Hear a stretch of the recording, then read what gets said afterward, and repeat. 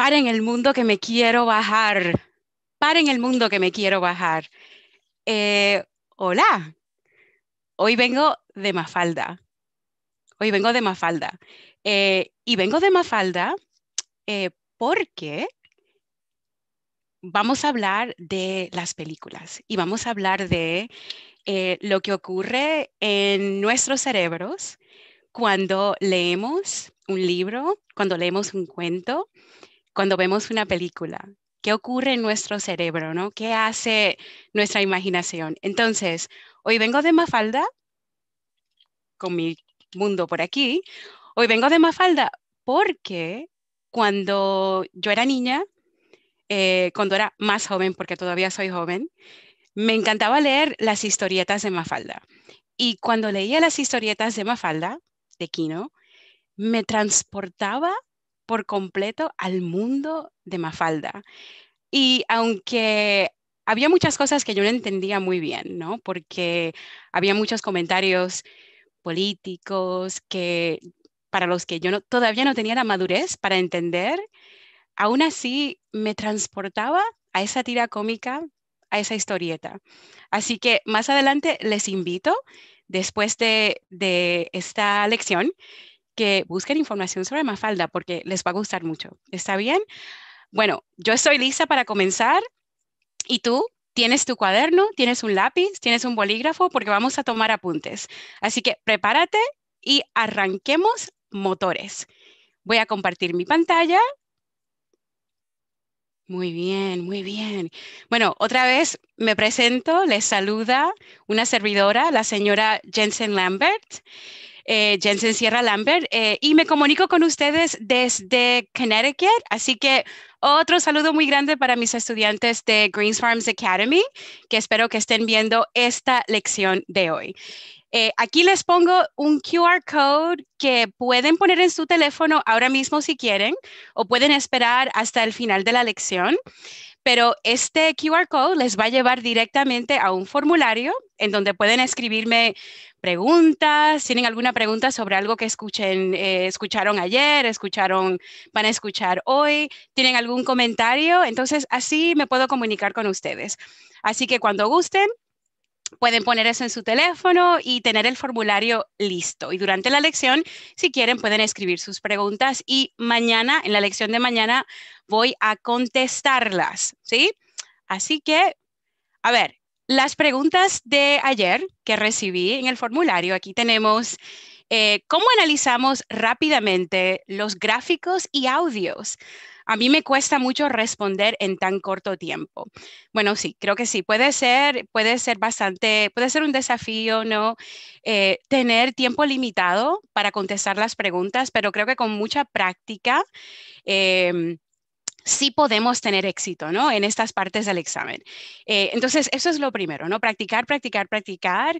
Eh, si no tienen eh, un libro específico disponible, ¿no? Sus profesores les pueden dar algunas tareas en AP Classroom que pueden practicar, ¿no? Para escuchar, para preparar el oído, para sentirse mejor sobre estas fuentes en el examen.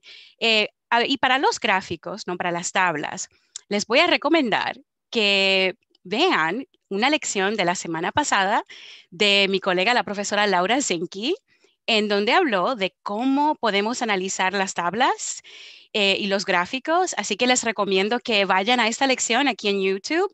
Pueden ir al canal de AP Spanish Classroom y ahí tienen una lección detallada sobre esto para ayudarles un poquito más. Eh, a ver, la próxima pregunta. Por lo general, ¿cuántas preguntas tendremos con cada lección o fuente? Bueno, aquí les voy a mostrar les voy a mostrar eh, las secciones que aparecen en la selección múltiple, que es la sección 1 del examen. Ustedes saben que el examen está dividido en dos partes, ¿no? 50% del examen es selección múltiple, la segunda parte es eh, free response, ¿no? Entonces, en la selección múltiple tienen estas secciones, está dividida en dos. La primera parte solo son textos, o sea, solo lectura. Y hay cuatro lecturas que van a analizar, ¿no? Y la primera que vimos ayer, en la lección de ayer, es el documento publicitario, en donde van a tener cinco preguntas, ¿no?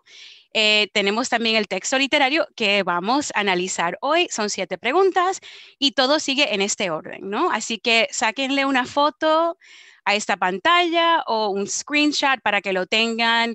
De todas formas, yo voy a poner este PowerPoint eh, en la carpeta de, esta clase, ¿no? El enlace para eso aparece debajo de este video. Pero como pueden ver, cada parte del examen tiene un número específico de preguntas, ¿no? Y cada pregunta también tiene un propósito. O sea, no son preguntas escritas a lo loco, son preguntas que tienen un propósito, ¿no? Para evaluar eh, su conocimiento de, la lengua y de la cultura, ¿no?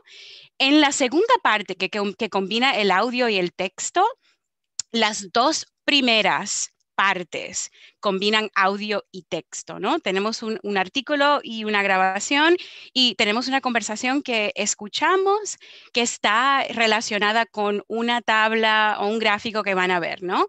Y las tres últimas, hay una entrevista eh, hay un video también de instrucciones y la última sección es una presentación cultural, que fue lo que escuchamos ayer, que practicamos en la lección de ayer. Así que si quieren practicar eso eh, y no vinieron a la clase de ayer, pueden ir a este video para aprender un poco más. Así que continuamos. Muchísimas gracias por sus preguntas y continúen escribiendo preguntas. Em, para aclarar cualquier duda, ¿no? Porque ya la fecha del examen se aproxima se aproxima. A ver, chicos, entonces hoy precisamente, ¿qué vamos a aprender? ¿Qué vamos a aprender? Eh, bueno, aquí tengo una lista de nuestras metas de aprendizaje, ¿no? Porque sí se puede, sí se puede, chicos. Ya casi llegamos al examen, ya casi están preparados, no se preocupen. Eh, a ver, lo primero es extraer la idea principal de documentos auténticos. Y yo diría que esto es algo que nos ayuda en todas las secciones de selección múltiple, ¿no? También en, la, en las fuentes que tenemos que analizar eh, cuando escribimos el ensayo y de eso vamos a hablar el jueves. ¿Está bien? Eh, próximo, identificar los detalles de importancia que respaldan la idea principal, el punto de vista, el público objetivo, etcétera. Eh, también deducir el significado de palabras desconocidas según el contexto. Esta es la parte ¿no? que eh, mis estudiantes practican más. Eh, porque a veces ¿no? No, tienen, no, tienen, no entienden algunas palabras que son muy avanzadas, ¿no? Entonces, se pueden usar estrategias para inferir, deducir el significado de estas palabritas que surgen en las fuentes. Y por último, hacer conexiones culturales e interdisciplinarias. ¿no? Eso es, esto es, eh, son las metas de hoy en las que nos vamos a enfocar. Eh, ¿Y cómo vamos a practicar? Bueno, al igual que ayer, nos vamos a enfocar en dos partes específicas de la selección múltiple. ¿no? Primero, vamos a analizar la fuente literaria eh, y tenemos, eh, es, un ejemplo que tengo de AP Classroom, así que los profesores que están viendo esta lección también no pueden buscar esta fuente literaria. Más adelante les doy los detalles. Y la segunda práctica que vamos a hacer también es selección múltiple. Vamos a escuchar la entrevista, ¿no? Que es la penúltima selección de la selección. Eh, bueno, no es la penúltima, perdón, perdón, es la tercera parte eh, de la selección múltiple, ¿no? Entonces, hoy vamos a hablar de algunas preguntas específicas que surgen en esta, en esta sección. A ver, entonces, como todos ustedes saben, ¿no? Ya para ahora, eh, en abril, sabemos que este curso de AP de lengua y de cultura, ¿no? Tenemos estos seis temas principales, ¿no? Overarching themes. Y debajo de todos estos temas, ¿no? Sus profesores eh, han elegido diferentes contextos, ¿no? Para enseñarles, para... Em, explorar con ustedes el mundo hispanohablante. Entonces, hoy específicamente nos vamos a enfocar en el tema de la belleza y la estética porque eh, la fuente que vamos a analizar cae en este, en este contexto. Eh, también eh, vamos a hablar eh, sobre un tema que tiene que ver con la vida contemporánea, el ecoturismo, de eso vamos a hablar más adelante. Entonces, es solo para que vayan haciendo conexiones, para que vayan activando todas esas palabras de vocabulario que se han memorizado hasta ahora, ¿sí? A ver, entonces vamos a comenzar con las fuentes literarias. ¿Está bien? Entonces, ¿qué tipo de fuentes literarias existen o las que puedan, podrían aparecer ¿no? en el examen? Bueno, hay un sinnúmero de fuentes literarias, pero aquí tenemos algunos ejemplos. Cuentos. ¿no? Cuentos. Quizá ustedes han leído Un día de estos de Gabriel García Márquez. ¿Lo han leído? ¿Sí? O quizá La Noche Boca Arriba, mi favorito, me encanta La Noche Boca Arriba. Eh, a ver, novelas, ¿no? Novelas eh, tales como, como Agua para Chocolate. Me encanta esta novela de Laura Esquivel. Y Laura Esquivel es la autora de, la, de quien hablamos ayer en la lección de ayer. a ver, poemas uno de mis favoritos a Julia de Burgos, ¿no? Me encanta ese tema sobre la dualidad del ser y la identidad. Obras de teatro, bueno, Don Juan Tenorio. Ayer hablamos de este personaje simbólico que ha trascendido, ¿no? Y que aparece en diferentes ámbitos de la sociedad. Y Don Juan Tenorio es escrito por Zorrilla, ¿no? Eh, y ensayos, uno muy famoso que me encanta, ¿no? Es Nuestra América de José Martí. Creo que a lo mejor ustedes lo han leído y si no, les invito a que lo lean porque se van a quedar, ¿sí? Es, es excelente. A ver, entonces, ¿cuál es el propósito de las fuentes literarias? Es importante pensar en esto, analizar esto, porque así eh, facilita la búsqueda de información mientras contestamos las preguntas. A ver, contar una historia. ¿Sí? Tiene un principio, tiene un fin, eh, tiene la trama, contar una historia real o ficticia. También narrar un suceso, ¿no? Puede ser algo, algo verídico que ocurrió. Entonces, eh, esta fuente literaria puede narrar este suceso o este evento.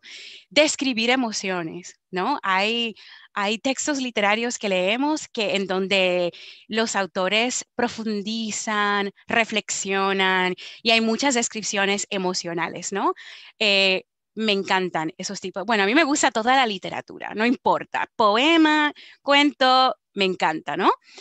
A ver, también para expresar ideas, como vimos en Nuestra América, en este ensayo, ¿no? En donde José Martí expresa sus sentimientos, ¿no? Sobre eh, su tierra natal de Cuba, ¿no? A ver, vamos a ver este ejemplo de la fuente literaria. Eh, pero antes, me gustaría, en ese cuaderno que sacaste, sacaste el cuaderno, ¿no? ¿Tienes el lápiz en la mano? Perfecto. Te voy a dar, ¿sí? 20 segundos para mirar esta foto que tenemos aquí, ¿sí? Y quiero que pienses, que contestes esas preguntas rápidamente, no con oraciones completas, sino con algunas palabritas. ¿Qué ves? ¿Qué piensas? ¿Y qué te gustaría saber? ¿En qué te hace pensar esta foto que vemos aquí? 20 segundos. Escríbelo, por favor.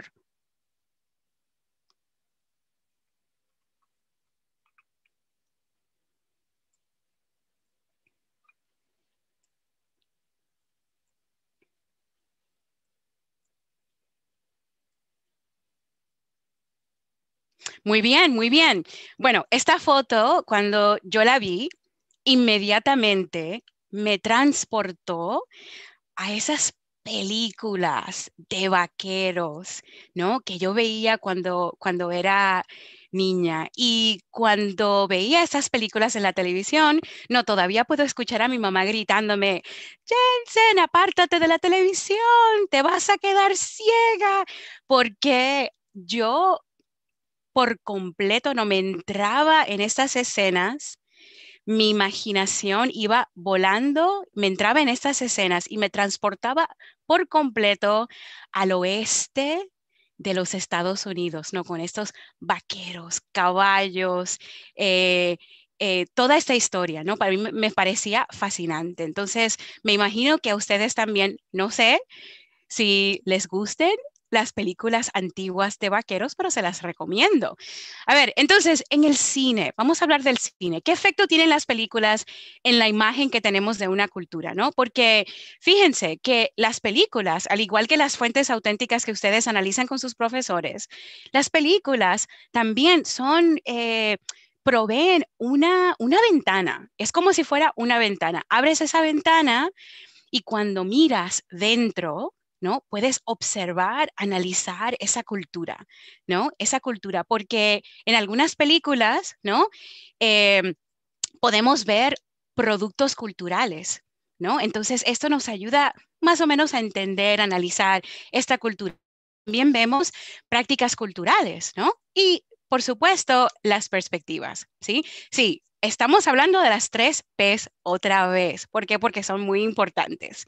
Muy bien, entonces, el cine eh, puede ser eh, un eh, algo una fuente para, ayudarnos a estudiar y a explorar también esa cultura. Eh, por ejemplo, cuando antes de yo venir a los Estados Unidos, cuando era niña, ¿no? Veía un sinnúmero de películas de los Estados Unidos. Entonces, la imagen que yo tenía de los Estados Unidos eran esos eh, pasillos en las escuelas llenas de, chicos, de jóvenes con sus mochilas, abriendo casilleros. Eh, no, y me interesaba mucho, me fascinaba, ¿no? Porque de donde vengo yo, soy de la República Dominicana, ¿no? Eh, la escuela donde estaba yo no, no era de esta forma, ¿no? Entonces a mí me fascinaba ver, observar esta cultura. Era la imagen que yo tenía de los Estados Unidos. A ver, y con la lectura, ¿no? Yo soy una lectora empedernida. Leo, leo y leo. Revistas me encantan. El periódico me encanta. Eh, y prefiero leer el periódico en la mano, el periódico en papel, me gusta tener la tinta del periódico en las manos. No sé, esa sensación me encanta. A ver, pero al igual que las películas, ¿qué ocurre en tu mente cuando lees un relato? ¿No? Porque en, un libro, en una narración, eh, solo tenemos palabras, tenemos letras, tenemos palabras. Entonces, nuestro cerebro tiene que hacer todo el trabajo, ¿no? Entonces, nosotros imaginamos esa escena, imaginamos el entorno, de esa historia que estamos, que estamos leyendo. Eh, también imaginamos las caras, los rostros de los personajes, imaginamos los lugares según la descripción de, la narración. Y también imaginamos los eventos, ¿no? Cómo ocurrieron, eh, eh, no sé, cuando, cuando leí, por ejemplo, bueno, hay muchas, novelas que he leído, libros que he leído, que después han sido transformadas en películas. Entonces, no sé si ustedes han escuchado decir a mucha gente de que cuando ven una película, después de haber leído la novela o el libro, se sienten decepcionados. ¿Y por qué se sienten decepcionados? Porque, ¿no? La imagen que ellos habían creado en su mente de esta narración, de esta novela, de este libro, ¿no? No es exactamente lo que, lo que ven en esta película. Entonces, a veces es, es mi preferencia, ¿no? Yo si leo un libro, ¿no? Evito ver la película porque no quiero, no quiero borrar esa imagen tan bonita que he creado en mi cabeza sobre eh, esta historia que he leído, ¿no?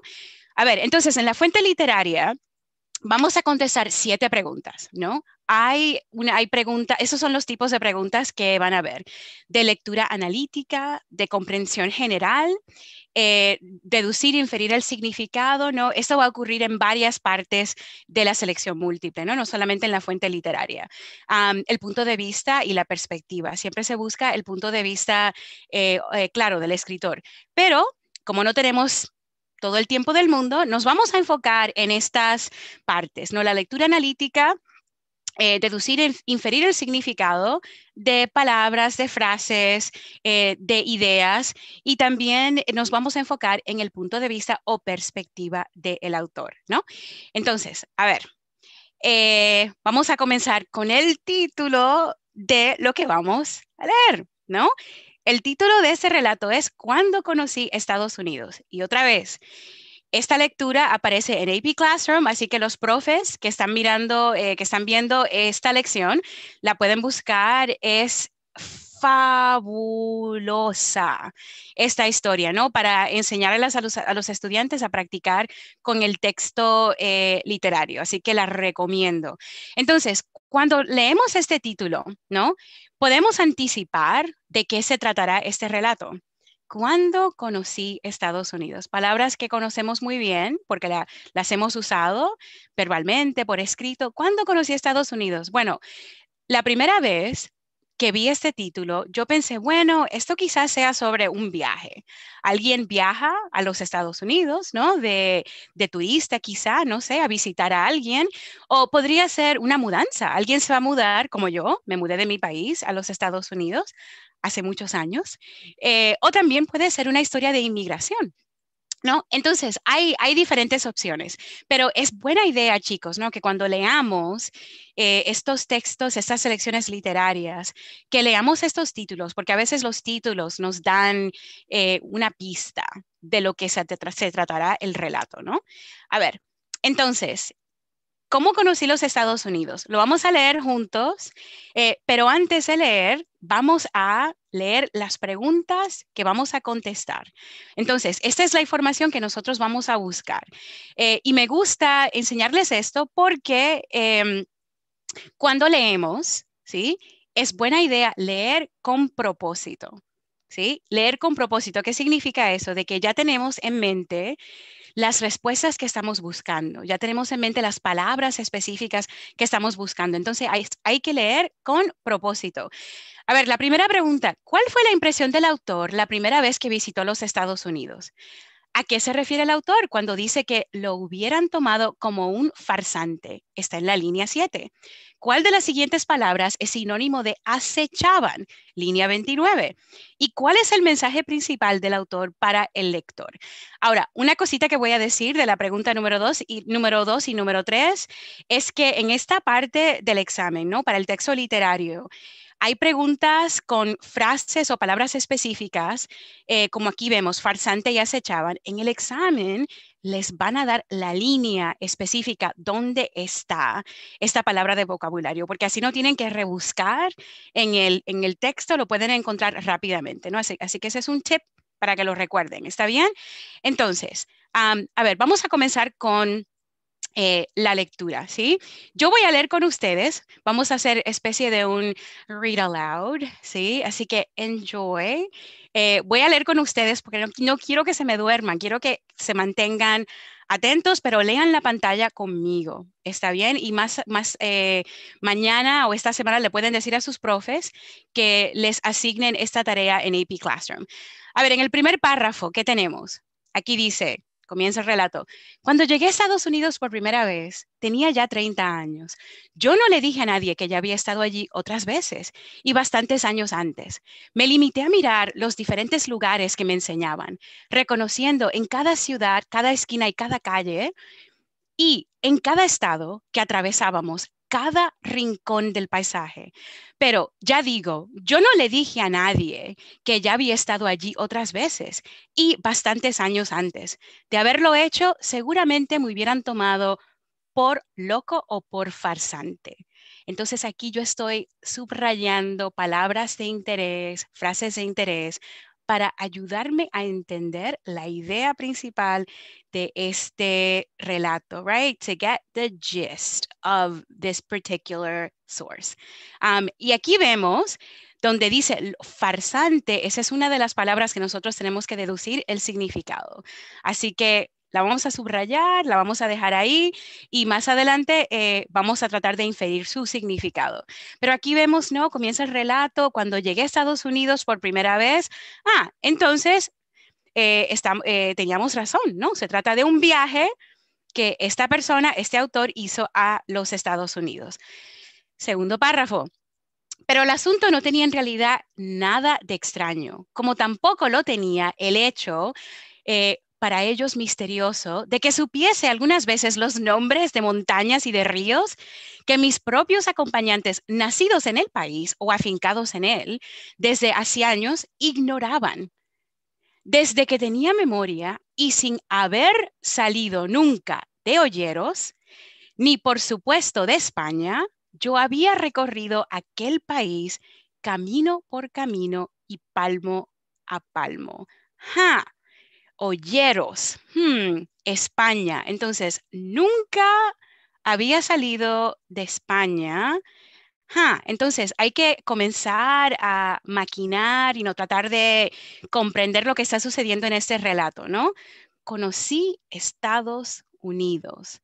Hmm, continuemos. En el tercer párrafo, había empezado a hacerlo en el minero en aquellas butacas destartaladas que acababan convertidas muchas tardes a la luz crepuscular de la pantalla en los bamboleantes asientos de una carreta o de una diligencia que cruzaba, acechaba por mil peligros los polvorientos, las polvorientas praderas del oeste americano, y había seguido haciéndolo al hilo de los relatos de aquellas viejas novelas, arrugadas y sobadas por mil manos que compraba en el kiosco de chamusca y que cambiaba por otras después de haberlas leído, por otras aún más sobadas, novelas que devoraba en las largas tardes muertas y amarillas del verano, o a la luz de una linterna en el invierno cuando me iba a la cama. Entonces aquí comenzamos a ver, chicos, ¿no? De que la persona que escribió, el autor de este relato, es fanático de la lectura, pero también es fanático del cine. Entonces, aquí vemos el oeste americano. ¿Recuerdan la foto del principio? El oeste americano. Entonces, ahora, ahora comenzamos a comprender de que el minero, ¿sí? Es el nombre de un cine, porque habla de butacas. Es el nombre de un cine. Entonces, podemos imaginarnos a este autor sentado en el minero, en este cine, viendo esta película como lo hacía yo de niña, completamente, ¿sí? Anonadado, transportado a esa escena de esta película, ¿no? Al igual que los libros. Y eso me pasa a mí también cuando leo un libro, ¿no? Me transporto por completo eh, a ese mundo. Cuarto párrafo. El proceso era el mismo en los dos casos. Cuando en la oscuridad del cine se encendía el proyector o en la de mi habitación, la linterna se abría paso entre las sábanas. Otra luz diferente se encendía ante mis ojos y me transportaba lejos del lugar en el que estaba. A partir de ese instante y hasta que me despertaba, yo cabalgaba con el protagonista. Dormía a su lado bajo una manta o me subía en el coche en el que viajaba, compartiendo con él sus aventuras y afrontando a su lado los múltiples peligros que le acechaban. ¡Wow! Me encanta esa descripción. Me encanta, ¿no? Entonces aquí vemos el proceso del mismo en los dos casos. ¿Qué casos? La lectura y las películas, el cine y la lectura debajo de las sábanas con la linterna en la cama, ¿sí? Pero esta parte aquí, chicos, muy importante, me transportaba lejos del lugar en el que estaba, ¿no? Es lo que, lo que comentamos al principio de la lección, de que cuando leemos, cuando vemos una película, en nuestro cerebro viajamos sin montarnos en un avión, nos, nos transportamos. En el caso del autor, está cabalgando en un caballo, así que él se, él se imaginaba cabalgando en estos caballos del oeste de los Estados Unidos como en las películas, ¿sí? A ver, el cuarto párrafo. Y cuando de repente la luz del cine se encendía porque la película ya se había acabado, o la de la linterna laguicedía, languicedía, porque el sueño me vencía, o porque la novela o la pila ya se había agotado. A veces yo seguía cabalgando o viajando en solitario, sin darme cuenta siquiera de que los protagonistas de aquellas ya me habían abandonado. De esa forma, película a película y novela tras novela, recorrí Estados Unidos y dormí al menos una noche en cada una de sus ciudades, lo que explica que cuando al fin tuve ocasión de visitarlas, pudiese andar por ellas con los ojos cerrados. ¡Wow, chicos! A mí me encanta, me encanta este relato, me encanta ese relato. Vuelvo aquí un momentito, ¿no? Entonces, cuando dice, a veces yo seguía cabalgando, en el caballo, ¿no? Así me imaginaba yo. Agarraba la escoba de la cocina y cabalgando en el oeste de los Estados Unidos, ¿no? Con mi sombrero de vaquero. ¡Wow! ¡Wow! Eh, entonces, aquí vemos confirmación, aquí tenemos confirmación cuando dice película, película y novela tras novela, recorrí Estados Unidos, lo que quiere decir, ¿no? Que él había ya visitado los Estados Unidos, no literalmente, sino figurativamente. Claro, en su imaginación. Ahora entendemos el título de cómo conocí Estados Unidos. A ver, chicos, vamos a practicar con estas preguntas porque quiero que tengan una idea del tipo de preguntas que van a ver en esta sección del examen. Aquí tenemos una pregunta que tiene que ver con la perspectiva. ¿Está bien? Muy importante la actitud, el punto de vista, ¿no? ¿Cuál fue la impresión del autor la primera vez que visitó los Estados Unidos? A ver, tienen 10 segundos para pensar. Vamos, 10 segundos.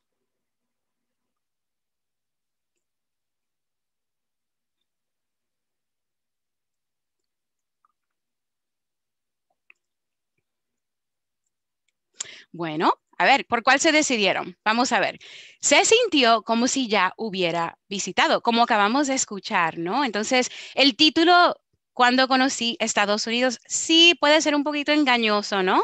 Porque nos hace pensar inmediatamente de que el autor viajó a los Estados Unidos, pero eh, al pasar, al progresar, ¿no? El, el relato, vemos que en realidad había visitado los Estados Unidos en su imaginación. Entonces, cuando llegó la primera vez a Estados Unidos, es como si ya hubiera visitado, porque tenía eh, este lugar eh, congelado en su mente con las imágenes que eh, había, había formado en su mente de toda la lectura y de todas las películas que había visto, ¿no? A ver, ¿Qué detalles tengo para apoyar, para respaldar esta respuesta? Bueno, desde que tenía memoria sin haber salido nunca de Olleros, ¿no? Recuerdan esto, ¿no? perdón, fui muy rápido. Eh, había empezado a hacerlo en El Minero, que ahora sabemos es el nombre del cine. Eh, me transportaba lejos del lugar en el que estaba. Entonces tenemos bastante evidencia, detalles para respaldar esta respuesta. A ver, una pregunta sobre el vocabulario. Aquí dice, ¿a qué se refiere el autor cuando dice que lo hubieran tomado como un farsante? ¿Qué significa esta palabra? ¿No?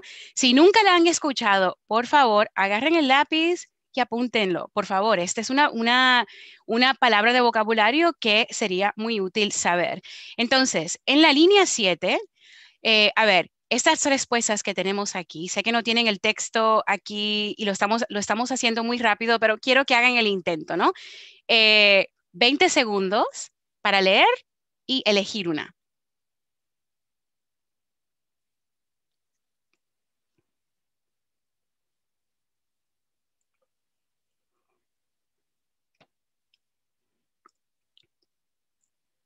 Perfecto. A ver, entonces aquí la respuesta correcta es a que hubieran pensado que era un mentiroso. ¿Y por qué? ¿Por qué? Porque ahora sabemos, ¿no? De que él en realidad nunca había visitado Estados Unidos físicamente y probablemente sus, acompañantes, sus amigos también lo sabían. Y al decir, oh, yo ya he estado aquí, le van a decir mentiroso. ¿no? Porque ellos saben que nunca había estado, ¿no? Entonces, eh, como acabamos de discutir, sí había estado en los Estados Unidos, no literalmente, ¿no? Pero figurativamente, eh, en su imaginación. Eh, esto de burlándose, en ningún momento se, se burla el, el autor de su visita a los Estados Unidos, ni tampoco de sus acompañantes, eh, tampoco tiene un tono pesimista, ¿no? Para mí esta lectura me pareció muy positiva, ¿no? Muy, muy optimista, no me pareció que tenía eh, una actitud pesimista. Y, a ver, y de ignorante no tiene nada, porque sabe muchísimo de los Estados Unidos mediante las películas y la lectura, ¿no? Entonces, esas son cosas que podemos eliminar. A ver, los detalles que respaldan esto, cuando llegué a Estados Unidos por primera vez, yo no le dije a nadie que ya había estado allí otras veces. Entonces, ahí vamos entrando en cuenta, ¿no? Sobre em, la respuesta correcta para esta pregunta, ¿sí? Continuamos con otra pregunta sobre el vocabulario. ¿Cuál de las siguientes frases es sinónimo de le acechaban? Y esto lo vemos en la línea 29, ¿no? Eh, a ver, y para esto, aquí son, aquí tienen las opciones. Le impedían, le, motiva, le motivaban, le asustaban, le vigilaban. Eh, voy a regresar a este párrafo específico, ¿no? Porque esta palabra de vocabulario es mejor verla en esa línea, en esa oración, en el contexto, ¿no? Para analizar las palabras que están antes, después y el párrafo. Así que observen esto aquí rápidamente, ¿no? Aquí está que le acechaban. Dormía a su lado bajo una manta o me subía en el coche en el que viajaba, compartiendo con él sus aventuras y afrontando a su lado los múltiples peligros. Sí, estoy segura de que conocen bien esa palabra, ¿no? Peligros, peligros, what are the dangers, right? Peligros que le acechaban. Podemos inferir el significado de esta palabra, ¿no? Porque entendemos la palabra peligros. Entonces, ¿cuál es la respuesta correcta? ¿Le impedían? ¿Le motivaban? Motivaban, perdón, le asustaban, le vigilaban. ¿Qué piensan? Correcto, le vigilaban, ¿sí? Le estaban mirando, ¿sí? Eh, entonces, esto, eh, esto es evidencia también de lo adentrado que estaba el autor en estas películas, ¿no? A ver, entonces, ¿qué detalles tengo? Cabalgaba con el protagonista junto a él, compartiendo con él sus aventuras y afrontando a su lado los múltiples peligros, ¿no? Entonces tenemos bastante evidencia para respaldar esta respuesta en esta lectura. Eh, a ver, una pregunta sobre la comprensión general o el mensaje también. A veces en el examen, esta pregunta en, esta, en este texto literario eh, va a sonar de esta forma. Quizá diga cuál es la moraleja de este texto, ¿no? ¿Cuál es el mensaje que quiere comunicar este autor, ¿no? Aquí tenemos cuál es el mensaje principal del autor para el lector, ¿sí? Entonces, en realidad lo que se pone a prueba aquí, ¿sí? Es tu habilidad de comprender, de tener una comprensión global, ¿no? Get the gist de este texto literario. A ver, aquí tengo mis cuatro opciones que las películas arruinan la magia de los libros, que las películas y las novelas estadounidenses son muy detalladas y entretenidas, que la imaginación puede ser engañosa, que el cine y los libros pueden hacer que los relatos cobren vida. A ver, Arruinan, mm, no tengo, no, esa no fue la impresión que me llevé de este texto, ¿no? De que las películas arruinan. Más bien, creo que a él le encantaban estas películas, ¿no? Entonces tenían un efecto totalmente opuesto a eso de arruinar. Eh, que las películas y las novelas estadounidenses son muy detalladas y entretenidas. Bueno, Mm, this is a stretch. No podríamos, esto no es, no es eh, falso, ¿sí? Pero no es la mejor respuesta. Entonces, tengan eso en mente que a veces van a haber respuestas que no son necesariamente totalmente 100% incorrectas, que no son falsas, pero no son la mejor respuesta para la pregunta que tenemos, ¿no? Entonces, que la imaginación puede ser engañosa, engañosa, eh, eh, bueno, no se trata de eso, ¿no?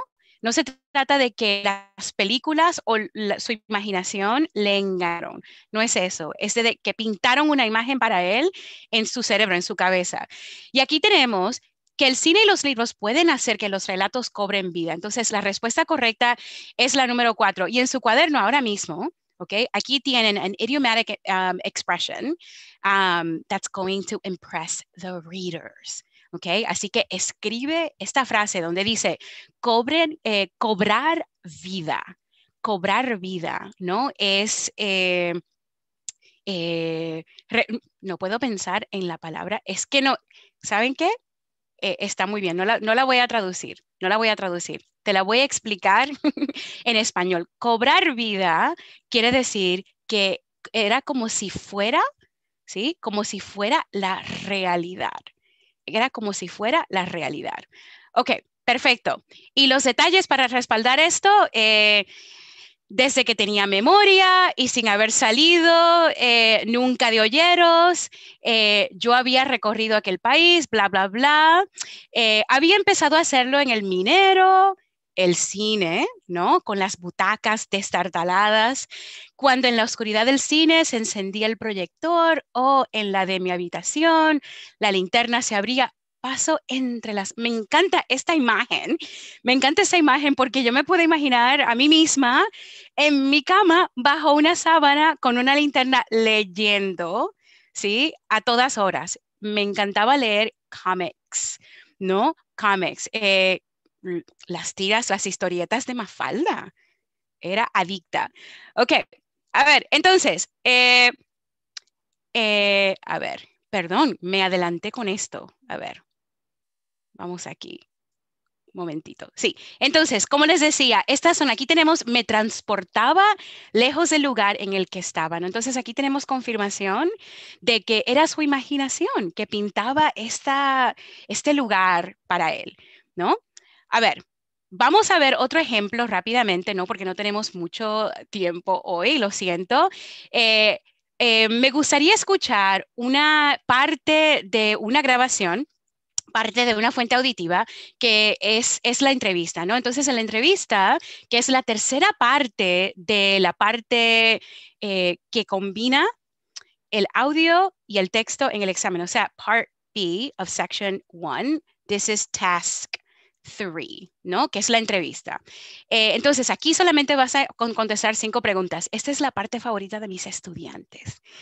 ¿Por qué? Porque no, les gusta contestar muchas preguntas. Entonces, y también el tipo de preguntas que aparecen aquí. Entonces, nos vamos a concentrar en el propósito o punto de vista, en deducir e inferir el significado de la información y también en el intercambio verbal, porque quiero darles unos tips para esto, ¿no? Entonces, ¿cuál es el objetivo de una entrevista? Si pensamos, educar al oyente, informar al oyente, describir a personas, eventos, lugares, costumbres, etcétera, etcétera. Explicar eh, las idiosincrasias culturales también en una entrevista, ¿no? Eso es posible. A ver, entonces, aquí tenemos eh, dos fotos que tomé yo, por cierto, ¿no? Eh, no, les, no, tenemos mucho tiempo, así que no les voy a dar tiempo para escribir lo que ven, lo que piensan o lo que les gustaría saber. Simplemente quiero que observen y comiencen a pensar en diferentes ideas en su cabeza, ¿no? De lo que observan aquí, ¿no? Eh, veo un río, muchas rocas, eh, yo llevo un casco, ¿por qué será, no? A ver, entonces, vamos a hablar en esta parte vamos a hablar un poco del ecoturismo. Y cuando ustedes escuchan esta, esta frase, palabra ecoturismo, en inglés es un cognado, right? Ecotourism, ¿no? La pueden buscar. Tiene que ver, tiene que ver con algo, tiene que ver con la naturaleza, ¿no? Eh, pero también tiene que ver con el rescate del medio ambiente. Es un tipo de turismo responsable, un tipo de turismo que respeta la naturaleza, que respeta el medio ambiente, que no contamina el medio ambiente. Y además de eso, ¿no? Eh, puede ayudar al desarrollo social, cultural y económico de una región, ¿no? Entonces, eh, yo acabo de regresar de Puerto Rico y mi hijo y yo hicimos ecoturismo, ¿no? fuimos específicamente para eso, ¿no? Porque eh, a mí me interesa mucho rescatar, salvar, cuidar el medio ambiente. Y el ecoturismo es una forma de hacerlo. Entonces, en esta entrevista la vamos a escuchar. Les advierto, no voy a poner la grabación eh, y no voy a ponerla toda, ¿no? Porque no, no necesitamos escuchar toda la grabación. Eh, el volumen está muy, muy bajito, así que tienen que ponerse los audífonos o subir el volumen en su computadora a ver eh, si pueden escuchar. Entonces, eh, a ver, vamos a AP Classroom. Ustedes, ustedes conocen este sitio web muy bien. Eh, ay, ay, ay. No, es la parte incorrecta. No importa. A ver, vamos a ver si ahora me lleva a donde tenemos que ir. A ver. Bueno, como le digo, esta es una, la, entrevista que vamos a escuchar. Se menciona el ecoturismo. Eh, ay, ay, ay, no sé qué está pasando con este audio. Vamos a ver. Ahora quizás sí tenga suerte. Veamos. A ver, crucen los dedos. Ah, perfecto. La tercera es la vencida. Ok. Vamos a escuchar el audio rápidamente, no tienen que contestar esa pregunta que está aquí, solamente estamos aquí para escuchar. Así que escuchen, eh, tomen apuntes, ¿sí?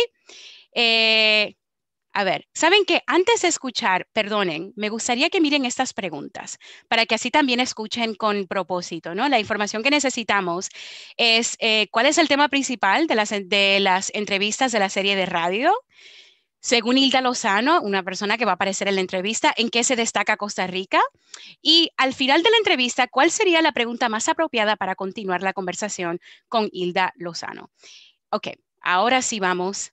Eh, Ahora sí vamos a nuestra grabación.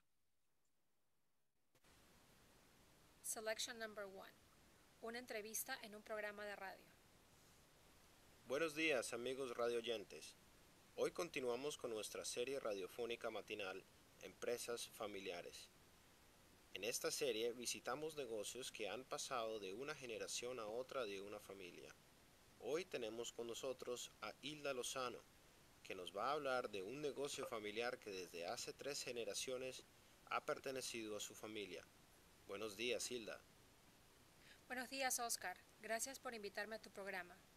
El gusto es mío. Vamos a ver, Hilda, cuéntanos algo de la historia de la agencia. ¿La agencia de turismo de tu abuelo se parecía a la que tú manejas hoy día? No, era muy diferente.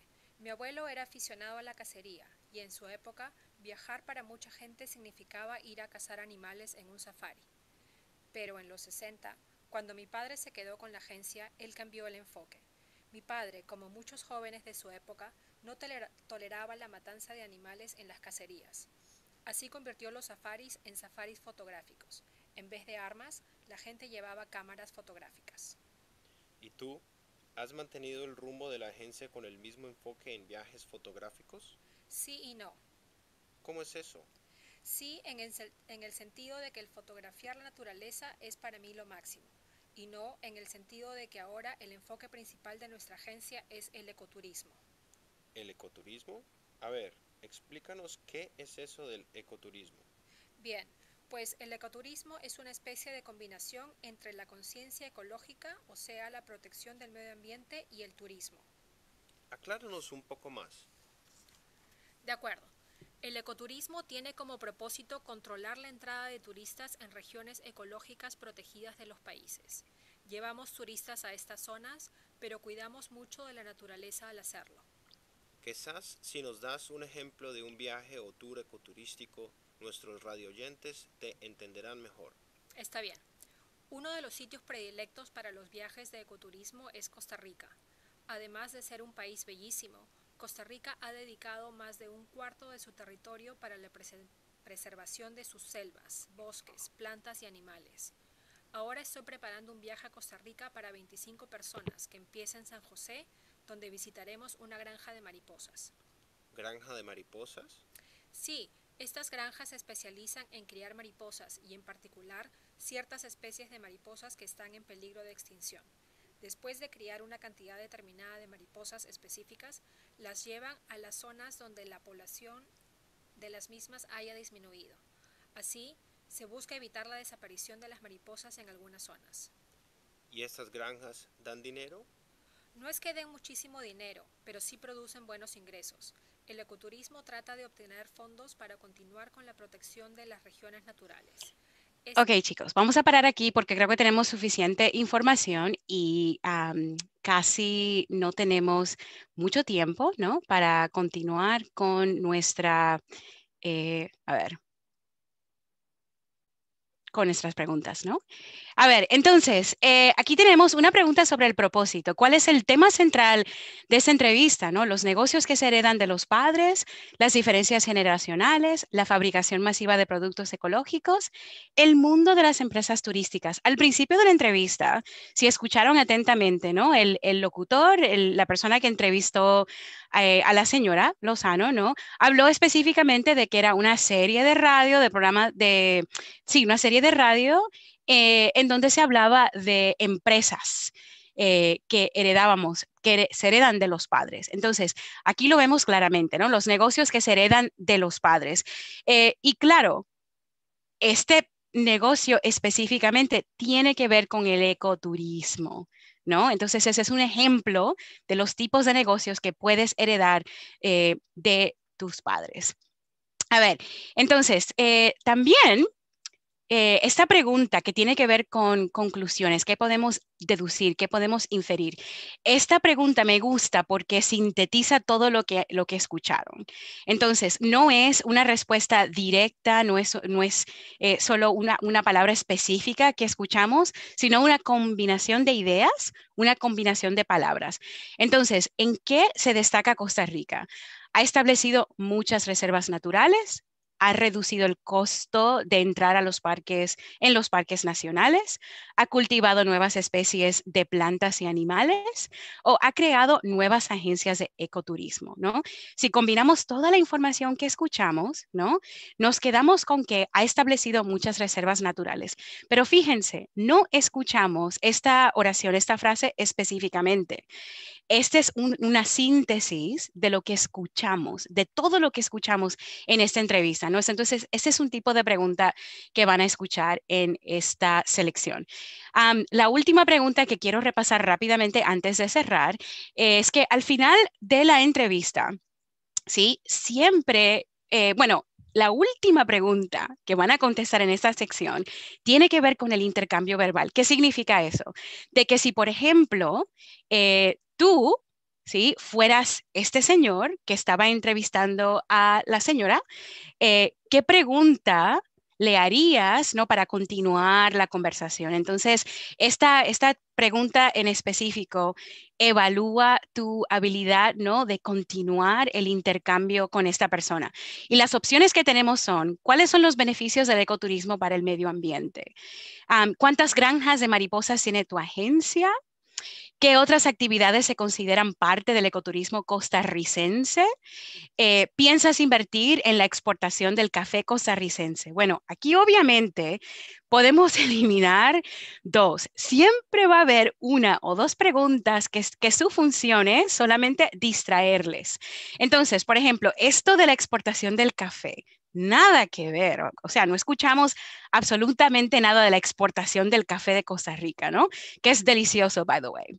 Eh, también esto de las granjas de mariposas, sí hablaron de granjas de mariposas porque es una de las paradas, un lugar que eh, ellos visitan. Esta compañía de ecoturismo visita esta granja de mariposas, pero no es el negocio de la señora Lozano, ¿no? Entonces, nos quedamos con la A y con la C. Bueno, ¿Cuáles son los beneficios del ecoturismo para el medio ambiente? Eso ya se contestó. Entonces, a veces en las opciones van a ser preguntas que son innecesarias, porque si estábamos prestando atención, escuchando atentamente, escuchamos que esta, esta pregunta ya se contestó. Entonces sería redundante hacer esa pregunta al final de la entrevista si estuviéramos en conversación con este señor. Entonces, nos quedamos ¿Con qué otras actividades se consideran parte del ecoturismo costarricense? ¿Por qué? Porque cuando termina la conversación, ella acababa de explicar una de esas actividades. Entonces, ¿saben que Yo quiero saber más. Yo quiero saber qué otras actividades tienen, porque a mí me encanta el ecoturismo y tengo planeado ir a Costa Rica y quiero saber qué más hay disponible, ¿no? Perfecto. Entonces, chicos, llegó la hora de darles algunos consejitos para el examen de AP. Eh, número uno, siempre me gusta decirle a mis estudiantes, ubícate. ¿Qué significa esto? Analiza el contexto, lee el contexto, eh, porque a veces el contexto te da pistas, se da claves, especialmente cuando leemos un texto que contiene muchas palabras desconocidas para nosotros. También lee las preguntas cautelosamente y subraya palabras claves. Puedes escribir en el libro de AP subrayar con tu lápiz, ¿no? Para guiarte. A mí me gusta subrayar y hacer circulitos y dibujitos y de todo para mantenerme...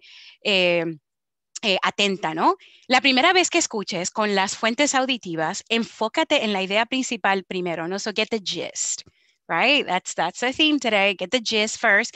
Y después, la segunda vez que escuches, entonces te pones a buscar los detalles, las palabras específicas eh, que pueden ayudarte a respaldar respuestas opcionales. A ver, contesta todas las preguntas, no dejes nada en blanco, ¿no? Eh, eh, adivina. Si, si en realidad estás totalmente perdido, perdida, ¿ok? Adivina y contesta la pregunta porque uno nunca sabe. si quieren más información sobre estas dos partes del examen que acabo de repasar con ustedes, en AP Daily, ¿no? Que está en AP Classroom, hay unos profesores maravillosos, ¿no? Que tienen lecciones muy buenas con diferentes temas de AP.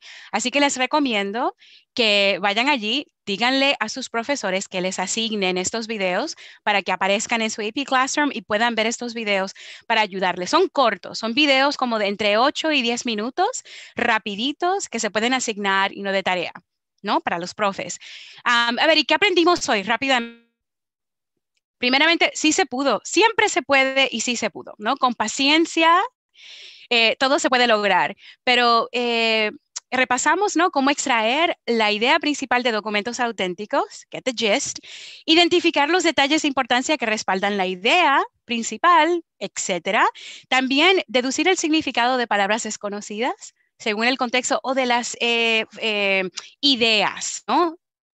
A ver, también eh, hacer conexiones culturales e interdisciplinarias, ¿sí? Fueron nuestras metas de hoy y creo que sí llegamos. Bueno, chicos, eh, me despido.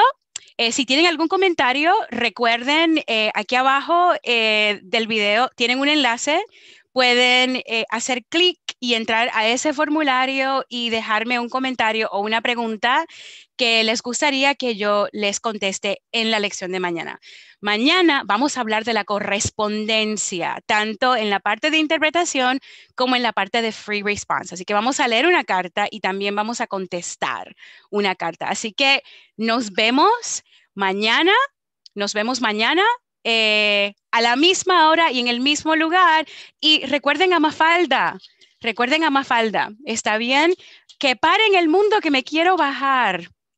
Adiós, chicos.